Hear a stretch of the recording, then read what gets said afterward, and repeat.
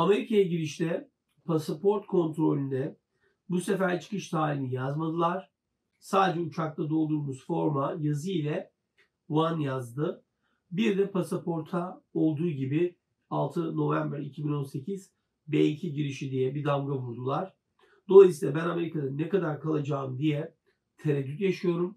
Bu konuda yardımcı olursanız çok memnun olurum diye takipçimiz soruyor. Öncesine nazaran artık son birkaç yıldır Amerika'da bu tip girişleri online takip edebiliyorsunuz. Dolayısıyla siz kapıda size girişte vurulan damgada eğer ne kadar kalacağınıza dair bir sınırlama koymamışsa görevliler genelde bu 6 ay olarak kabul edilir. Dolayısıyla en fazla 6 aya kadar bir süre vermiştir.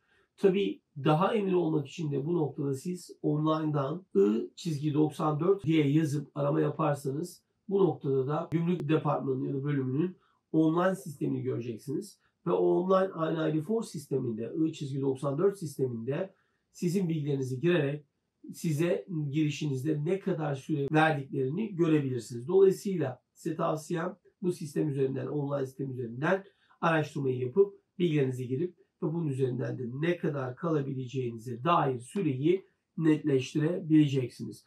Ama dediğim gibi sizin belirttiğiniz örnekte tahminen 6 ay verilmiş durumda görünüyor. Ama net ve emin olmak için tavsiyemiz online'dan buna bakıp e, bu noktadaki netliği görmeniz olacaktır deyip takipçimizin sorusunu cevaplamış olalım.